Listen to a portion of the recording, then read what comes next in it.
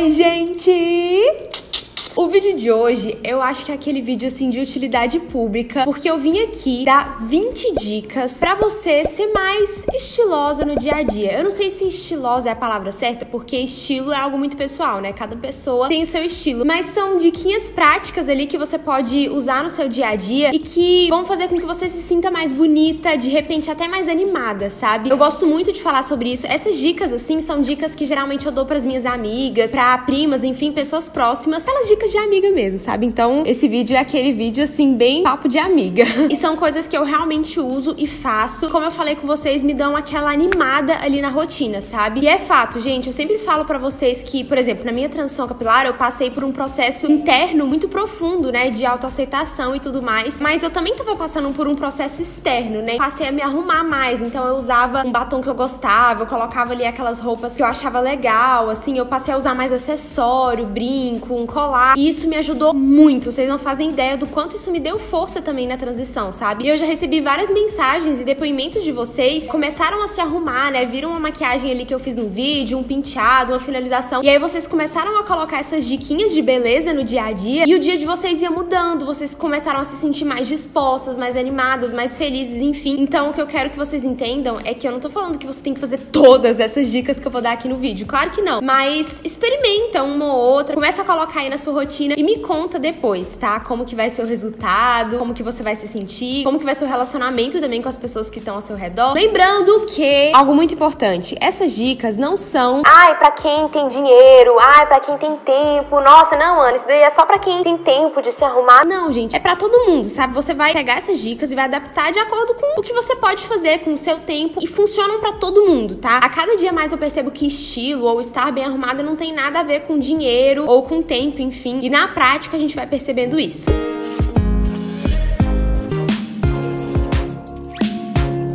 Quando você tiver com o cabelo preso, você coloca um brinco grande. Vocês que me acompanham sabem que eu faço muito. Às vezes tem aquele dia que você não teve tempo de arrumar o cabelo, de deixar solto, e aí você faz um rabo de cavalo, ou faz um coque, ou prende num puff e coloca um brinco grande. Eu gosto muito mais de usar brinco grande com o cabelo preso. É muito raro vocês me verem com o cabelo solto e com um brinco grande. Eu não tenho muito costume, mas isso daí vai do meu gosto mesmo. Então, às vezes eu faço esse mix, né, de deixar o cabelo preso e colocar o brinco grande, não é nem porque eu tô no bad hair day, é porque às vezes eu quero usar um brinco meu cabelo pode estar ali naquele dia que ele tá solto e tá show de bola, mas às vezes eu prendo porque eu gosto muito desse mix. E agora tá super em alta as estampas, né, de animal print, de oncinha, de coisa assim, e tem brincos lindos, né, com essa estampa. Inclusive eu tenho um de oncinha que eu tô amando, branco, preto, também tá usando muito, eu acho lindo. Então fica a dica aí, eu acho que fica super elegante, realça o seu olhar. E acessório é um negócio que deixa mais bem arrumado. Quando você coloca um brinco, um acessório, passa aquela impressão de tipo assim, nossa, ela se arrumou, ela se preocupou, ela colocou um acessório ali, sabe? Eu amo, amo, amo acessórios. Trocar o moletom por uma jaqueta jeans ou por um casaquinho, um blazer. Gente, eu amo moletom, o moletom é super confortável, mas no dia a dia, às vezes para sair, não é aquela peça que mais vai te valorizar. Então, às vezes, em vez de ficar sempre usando aquele mesmo moletom cinza de sempre, troca por, sei lá, uma blusa legal com um casaquinho, tipo esse casaquinho aqui assim que eu tô, sabe? Ou uma jaqueta jeans básica. Eu acho que montar essas composições, tipo blusa e uma segunda peça, né, uma jaqueta jeans, uma jaqueta de couro, um cardigan bem bonito, um blazer, né? Enfim, eu acho que deixa aquele look já com uma cara mais arrumada, assim. Vai te esquentar do mesmo jeito, né? Ainda mais agora nesse friozinho. A terceira dica é trocar aquela camiseta básica por uma blusa com algum detalhe a mais, sabe? A gente fica muito no automático e às vezes é muito mais fácil só pegar aquela camiseta básica. Você sabe que vai dar certo com uma calça, com uma saia, enfim. Mas às vezes é mais interessante você colocar ali no seu look uma blusa que tem um detalhe na manga, blusa com um tecido diferente, né? Às vezes um tecido mais grosso, porque a camiseta tem aquele tecido ali de algodão ou malha que já deixa o seu look mais casual, né? Aquele look mais dia a dia. Eu esqueci o nome daquela manga, é manga 3 quartos, gente? Eu não sei muito bem os nomes, né? Eu fico aqui dando as dicas das coisas que eu gosto mesmo, mas eu não sei os nomes específicos das coisas. Mas aquela manga, tipo aqui assim, sabe? Uma blusa de golinha alta, ou aquelas que tem um decote V, ou uma blusinha com botões. Muitas vezes as camisetas básicas são mais caras do que blusinhas assim. Hoje em dia, se você for olhar em lojinhas, você encontra muita peça legal. Até mesmo no site da Dafit, né? Eu sempre tô indicando a Dafit pra vocês. Tem várias coisinhas assim. Então é isso, a gente tem que saber procurar. Depois que a gente começa a pegar as dicas, a gente começa a olhar para as coisas de forma diferente. Usar colares delicados. Gente, eu sou completamente apaixonada por esses colares mais delicados, seja mais curtinho ou mais longo, mas eu acho que esses colares, não só colares, né, mas acessórios mais delicados, eles dão uma sofisticação a mais pro seu look. Coloca um colarzinho ali mais delicado, ou uma pulseirinha, um anel, um brinco, enfim. Eu acho que são coisas básicas, simples, mas que dão tchan no look. Ai, Ana, eu não tenho dinheiro para comprar joias, né? Ai, esses colares delicados, é tudo de ouro, eu não tenho dinheiro. Não, gente, não é. Se você também for fuçar nessas lojinhas aí no centro da cidade, tem vários colares super delicados pro dia a dia. É perfeito. Porque às vezes você pensa no acessório, né, como eu falei no início, um brinco grande, mas você fica com um pouco de medo de errar no dia a dia. Então aposta nesses acessórios mais delicados que ficam lindos e não tem como errar, né? A quinta dica é estar com as unhas sempre bem arrumadas ou sem esmalte. Esses dias eu tava até comentando assim com a minha irmã que eu prefiro deixar a unha sem esmalte nenhum do que ficar com esmalte descascando. Porque às vezes aquele esmalte descascando ali fica aquele negócio não tá nem lá nem cá. Você não tá nem com esmalte nem sem esmalte, então às vezes é melhor tirar tudo e deixar as unhas limpinhas. Eu acho que dá até uma motivação assim pra gente passar um esmalte ali rapidinho ou deixar a unha limpinha sem esmalte nenhum. É melhor do que aquele esmalte, né, descascando. Ai, às vezes a gente até deixa de colocar um anel que a gente gosta porque a unha tá descascando e tal. Dobrar a barra da calça. Parece uma coisa besta assim, né, que não faz muita diferença, mas eu sempre faço isso, gente, sério. Eu acho que foi até minha irmã que me deu essa dica um tempo atrás, que ela sempre fazia. Gente, a maioria das coisas de look e tal, eu aprendi com a minha irmã, que ela é super estilosa, aí eu pego as dicas. Dobrar a barra da calça deixa o look muito mais estiloso e às vezes a calça fica ali fofando, né? Eu acho que não fica tão legal. Então eu sempre gosto de dobrar a barrinha da calça. E outra dica também dentro dessa é dobrar a manguinha da camiseta, né? Às vezes a camiseta ficou um pouquinho frouxa, assim, muito comprida. Eu gosto de dobrar a manguinha. Dá outro tchan no look. Começa a fazer e me conta depois. ah, se vocês estão gostando das dicas, clica aqui no gostei pra eu saber e se inscreve no canal pra acompanhar as próximas. E me contem aqui nos comentários também quais dessas dicas vocês já colocam em prática ou se vocês têm alguma outra dica pra complementar, né? Essas dicas que eu tô dando aqui. Vão me contando tudo aqui nos comentários. A sétima dica é algo que eu passei a fazer de uns tempos pra cá e que faz muita diferença também, que é sempre ajustar as roupas na costureira quando necessário. Mas uma coisa que sempre acontece comigo é que eu sou baixinha, né? Então, às vezes eu compro uma peça que fica muito comprida, calça, macacão principalmente. Aí eu gosto de ir na costureira pra fazer aqueles ajustes. E é outra coisa, sabe? Porque às vezes você compra a peça e você fala: "Não, nem precisa ajustar, tá ótimo, eu dou uma ajeitada aqui e tal". E você não usa. Eu já passei por isso. Às vezes você compra a peça fica lá parada no seu guarda-roupa, porque na hora que você experimenta ali na hora de sair, você, nossa, parece que não tá muito bem assentada a roupa e aí acaba que não usa. Então, sempre que for assim, já pega a peça e já leva na costureira para fazer aqueles ajustes para não correr o risco de você perder uma peça. Então é isso, fica a dica, pega aquela costureira de confiança que tem um precinho ali amigo que você vai ver que vale a pena. A oitava dica é algo que eu amo fazer, que é usar cinto. Eu amo looks mais acinturados. Isso tem muito a ver com o meu estilo também. Eu gosto desse estilo mais romântico e tal, então eu gosto muito de peças acinturadas. Mas mesmo que você não tenha um estilo assim, o cinto ele pode ser um ótimo acessório em diversos estilos, em diversos looks diferentes. Às vezes você tá com uma calça, coloca a blusa assim por dentro, coloca um cinto para dar um tchan a mais. O vestido tá muito largo, você coloca ali um cinto. Ou às vezes o look é mais básico, né? E o cinto já dá um realce a mais. E eu amo cinto em tom de caramelo ou preto. Eu acho que são cintos básicos e que você usa sempre, sabe? A nona dica é usar sapato nude pra alongar. Claro, né? Depende muito do look, do modelo, do sapato também. Mas no geral, os sapatos nudes eles te dão aquela alongada. Então eu tenho uma sandalinha bege que eu uso muito. Tem uma sapatilha bege também de bico fino que eu amo. Tem umas outras sandálias também que são nesses tons mais clarinhos, mais neutros. Eu tenho um tênis também sem cadarço que ele é nude. Fora que combina com praticamente tudo, né, gente?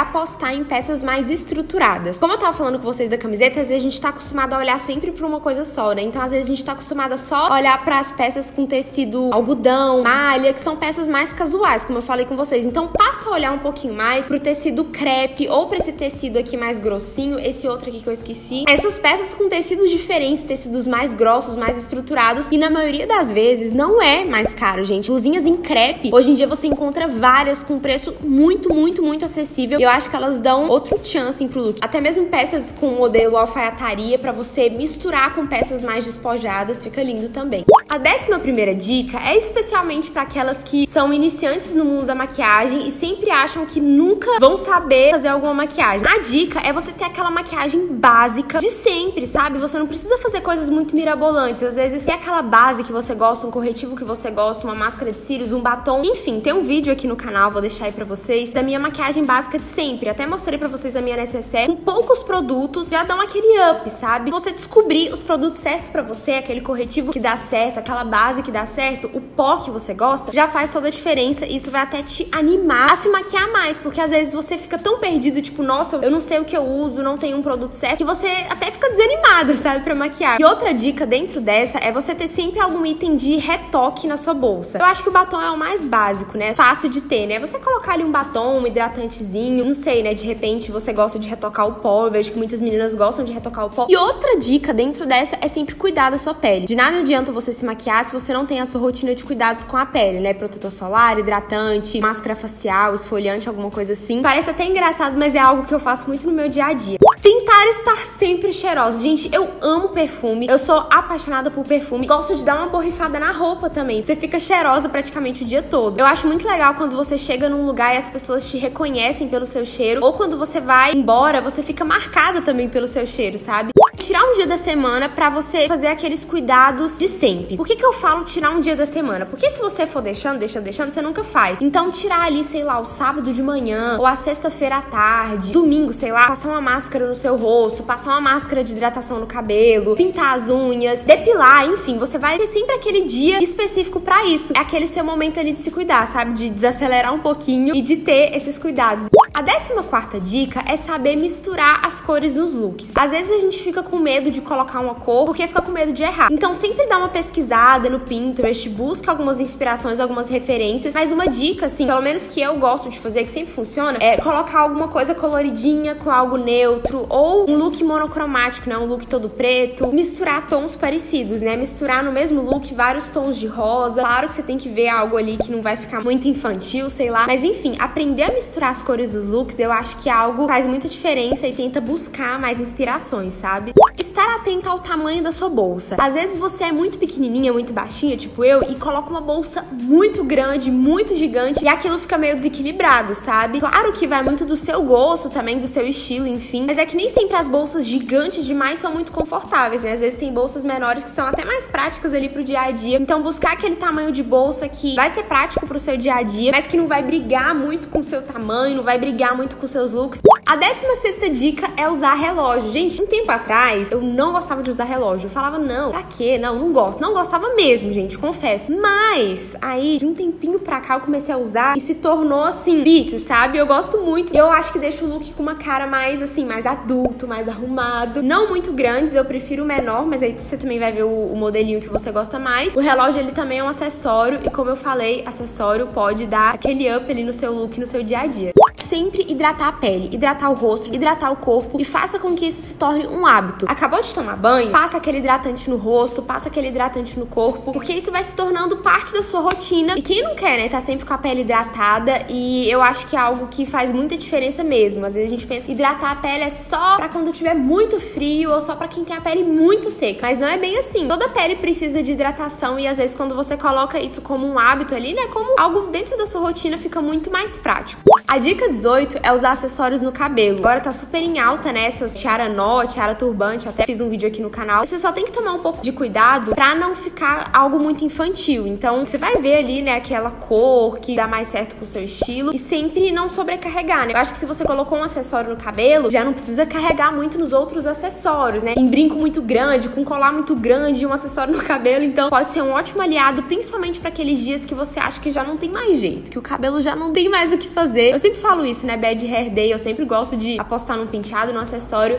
A décima nona dica é usar óculos de sol. Eu acho que o óculos de sol no dia a dia, além de proteger, né, a sua visão e te ajudar ali, pode dar um tchan também no seu look, sabe? Te deixar com cara de, olha só, estou com óculos de sol, que chique. Então, às vezes você vai sair ali para resolver alguma coisa na rua e aí você tá sem óculos, você fica com aquela cara assim meio, sabe? Então, o óculos já te ajuda e já dá aquele up no look. Algo que eu faço muito, ter sempre um rabicó e grampos dentro da sua bolsa. Às vezes, sei lá, você tá num lugar que tá ventando muito, ou que você começou a sentir muito calor, ou que simplesmente quer prender ali, né? Enfim, você ter um rabicó ali e um grampo na sua bolsa ajuda muito, sério, gente. Isso, gente. Espero que vocês tenham gostado desse vídeo e que essas dicas tenham ajudado vocês de alguma forma. Se você tiver alguma outra dica legal, como eu falei, me conta aqui nos comentários e vai colocando essas dicas em prática aí na sua rotina e me conta depois o que, que você achou. Um beijo, fiquem com Deus e até a próxima. Tchau!